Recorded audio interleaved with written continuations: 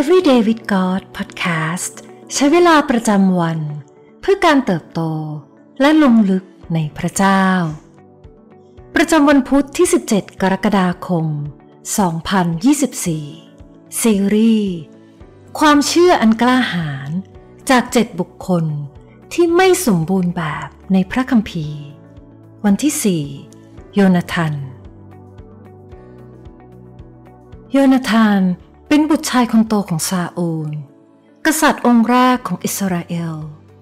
โดยปกติ เมื่อกษัตริย์สิ้นพระชน บุตรชายหัวปีของเขาจะได้รับตำแหน่งกษัตริย์ต่อ แต่น่าเศร้าสำหรับโยนาธานเพราะซาอูลถูกปฏิเสธจากพระเจ้า เนื่องจากเขาไม่เชื่อฟัง ดูได้จากหนึ่งซามูเอลบทที่ 15 ดังนั้น พระเจ้าทรงเลือกดาวิด ให้เป็นกษัตริย์แทน ดาวิดอดทน และรอคอยเวลา ที่พระเจ้าจะยกชูเขาขึ้น ให้ครองบัลลังก์แทนที่เขาจะพยายามผลักดันตัวเอง ให้ขึ้นสู่ตำแหน่ง ก่อนถึงรัชสมัยของซาอูลจะสิ้นสุดลง ลองนึกภาพโยนาธานในสถานการณ์นี้ หากเราเป็นเจ้าชาย พ่อของเราเป็นกษัตริย์ และเราอาศัยอยู่ในวัง มีชีวิตที่ดี แต่พ่อของเราเลือกเดินในทางที่ผิด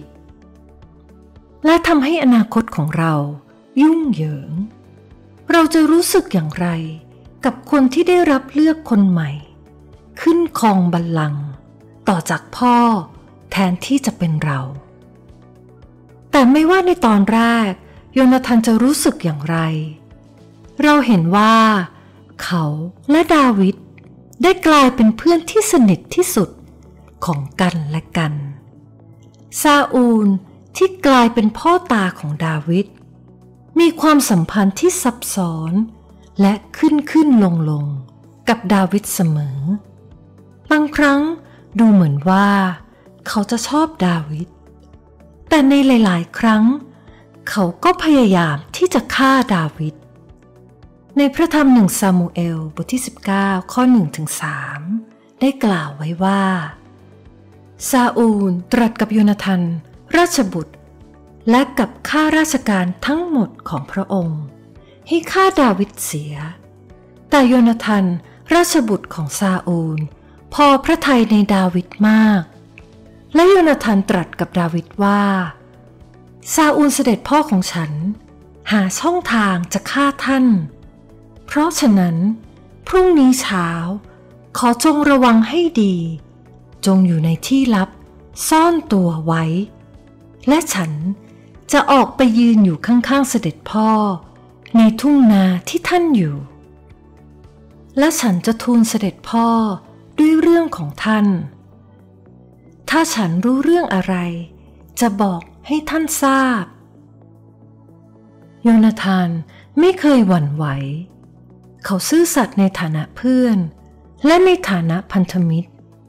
ในหนึ่งซามูเอลบทที่ 20 เราได้เห็นว่าโยนาธานเตือนดาวิดให้หลบหนีจากซาอูล บิดาของเขา ที่พยายามจะฆ่าดาวิดอีกครั้ง ลองนึกดูว่าโยนาธานจะต้องลำบากขนาดไหน เขารู้ว่า พระเจ้าทรงมอบสิทธิ ในบัลลังก์ของเขาให้แก่ดาวิด เขาต้องเล่นบทเป็นคนกลาง ระหว่างพ่อของเขา ผู้ซึ่งเป็นกษัตริย์องค์ปัจจุบัน กับเพื่อนของเขา ผู้จะเป็นกษัตริย์องค์ต่อไปในอนาคต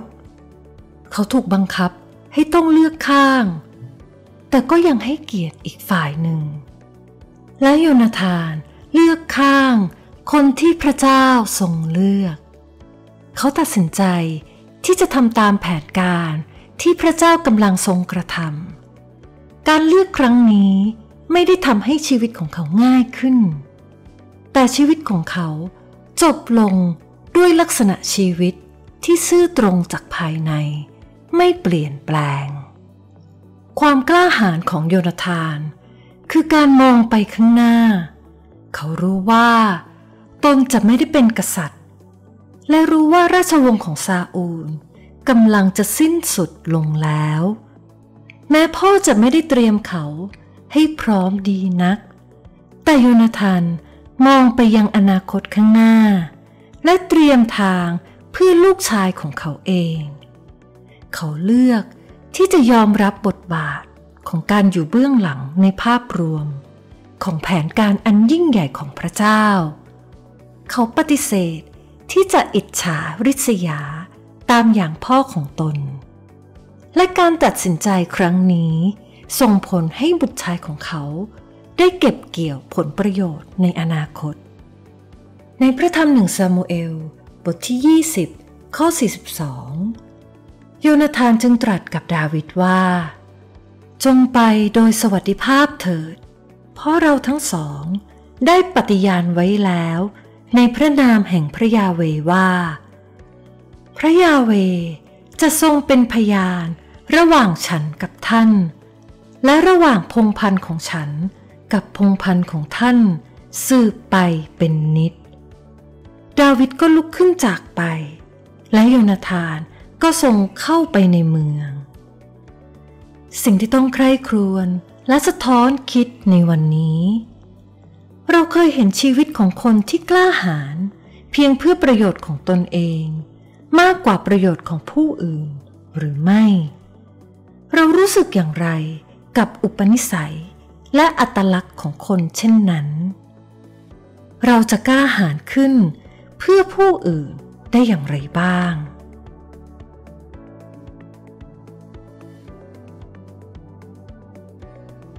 ให้เราอธิษฐานด้วยกันค่ะ